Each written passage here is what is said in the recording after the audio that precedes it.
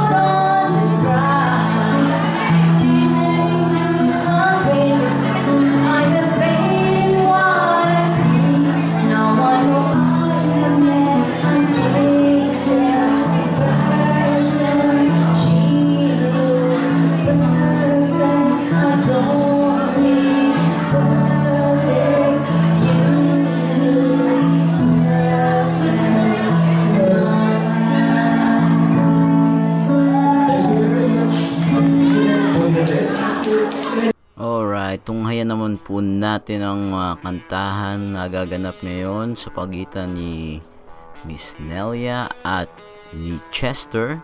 So, gaya po ng dati, hindi natin pwedeng gamitin yan dahil it's a cover and they used the uh, minus one. And mapapagalitan na naman tayo ni Lolo YouTube. Sorry ah. anyway, at sa ating pong pagpapatuloy, makikita natin ang iba't iba pang mga kaganapan dito sa pageant na ito. So nakita nyo na yung mga sayawan, kantahan, rampahan, at ano pa bang nakita nyo dyan? May nagigitara, at kung ano-ano pa. Ang event po na kagaya nito ay isang selebrasyon ng talento ng mga OFW. Dito po namin pinapakita ang galing ng mga kababayan natin. So, may magaling mag-makeup.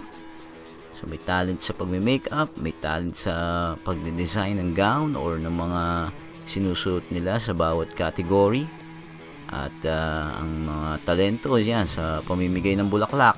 I know, ah, pag ano pala, panghaharana, yan, kagaya ni Chester, nangaharana siya dyan. Oh. Kailan pa namin ipapakita yung talento na yan kung hindi dahil sa mga event na kagaya nito. Eh, wala kaming ah, ah, paraan or na maipakita yan, di ba? Ganun lang yun.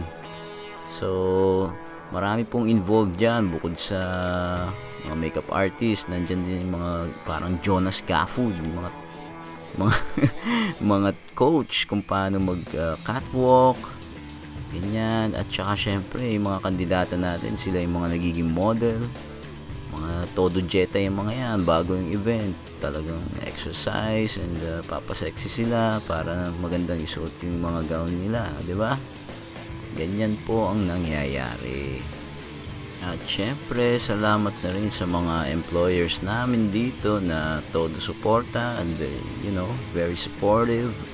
At pinapayagan nila ang kanilang mga empleyado para lumahok sa mga ganitong kompetisyon, di ba? Ganyan lang po. Kaya masasaya kami dito sa Singapore. Diyan umiikot ang mundo namin sa mga event na ganyan. Kasi kung hindi dahil dyan, wala, malungkot na. Kaya kayong mga nasa Pilipinas, pasalamat kayo at may mga event. Kasi kung hindi, paano kami sasaya dito? Alright. So, ito, mukhang uh, nagkakabigayan na po ng mga minor awards. Ayan, isa-isa. O, diba? May Corona, may Sash, Miss Allure, ano ba isa? Miss Asian Beauty, yan. Yan po mga titulong pwede nyo matanggap dito, di ba? So, ito, anong napanalunan niya? Oops, medyo matagal. Suspense, suspense po. Oh, nasa na? Bigay nyo na. Joke. Anyway, ito. Uh, Miss Fierce. Wow. Fierce look. Ah, siya, lupit nun. Siya naman ay Miss Seductive. Wow. Pet Malou. Ano kaya yan sa kanya? Ha? Inaabangan po natin yan. Hmm, hintay-hintay lang. Yan na. Miss Body Beautiful. Wow! Congratulations! And kay ate girl, ano kaya? Oh, naharangan tayo sa camera. Oh, hindi akong harangan. Joke. Ayan na. Ayun, hindi ko nakita. Miss Congeniality pala. Anyway, ito ay Miss what? Ay, hindi ko nakita. Sorry. Ah, basta may Miss yun. Ito naman sa kanya ay Miss Elegant. Yan. Baliktad, baliktad. Okay. Alright. Kaya ate girl naman ay Miss Elite. Siya elitista. Anyway, susunod pa. Best in Best Smile. Wow. Wow, okay yun. Maganda siyang umiti. Siya naman po ang ating Miss Flawless. Wow, flawless siya. At siya naman po ay ang Miss Natural Beauty. Wow, congratulations. Natural ang beauty mo. Miss ano yon? Ah, hindi ko nabasa. Anyway, ano to? Miss, wow, hindi ko rin nabasa. Ah, sige, mamaya malalaman din natin yan. Oh, ito naman sa kanya ay Beauty with the Heart ba yun? Ah, at siya ay Miss Petite. Oh, Petite nga naman. Okay. Oops, ano sa'yo? Miss Personality. Nice.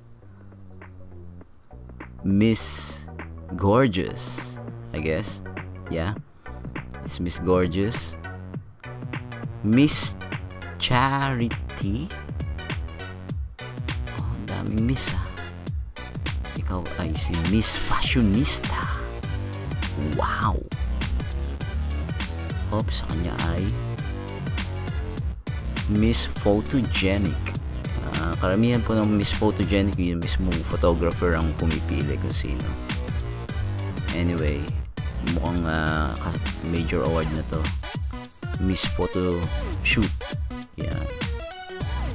Miss Wow, hindi ko nabasa. Basta may miss yun. Miss something. Um, okay, so ano nangyayari na? Medyo, oops! Oh, tuntua si ate girl. Ano kaya nangyari? Ah, ano kaya award niya? Ah, Best in Makeup. So, si ate girl ang kanyang makeup artist. Ah, 'di ba? May award din ng makeup artist. Oo. Sino to? Miss yun na, hindi ko nabasa. Miss uh, oh, wala tayong mabasa. Sobra dami na kasi pong nare-receive nilang award at talaga namang dumadagsa. Miss Blueberry. Yan. Ano naman to? Miss Lovely Rose Model. Kilala ko sila, kaya alam ko yan. Siya rin. Ha? Choreographer. Ano to? Darling of the Crowd. Oh, di ba? Mga major awards na po yan. Ha? Paspasan lang po natin. Ano pa? Ang nangyayari? Op. Punta sa unahan. Top 5 na ba ito? Top 10? Ano meron? Ay, ano siya? Ano yan? Miss Celebrity. Okay, award award lang po tayo, di ba? Nice. Congratulations. Ang laki ng corona, hindi magka hindi magkaintindihan, oh. Ginawa ka na lang kasi nilalaglag. At may teddy bear pang malaki, eh. Oh. Saan ka pa? Ayan, inayos nila. Oh. Yan. Alright. What's next? Meron pa isa na. Hindi ko na nakita, pero kasi naman laki ng teddy bear na hawak niya pero may award yun malupit yun. Ambassador siguro yun ambassador. Okay nasa gitna naman po si candidate number 6 once again. At meron na naman ipinigay sa kanya best in production number. So major award po yan. Ito na mga major awards at bumalik siya. Best in polka dots attire wow lupet Hakot talaga. Si ate naman ay Best in Flower Costume. Best Flower Costume, okay? So yung mga nag-award po dyan, yung mga, ju- mga judges din, di ba? Balik na naman si number 6. At uh, may kasama pa siya. Ano yan? Best Creative. Best Creative, what's that? Best Creative Flower Attire. Best in Gown. O ba? Dami niya. Okay, so pansamantala po nating ititigil muna ang ating broadcast at uh, medyo mahaba-haba na rin po kasi ito. So sa susunod po malalaman na natin kung sinong nanalo sa kanila. Alright? Okay, thanks for watching guys and hope to see you again next time. Okay, see you around.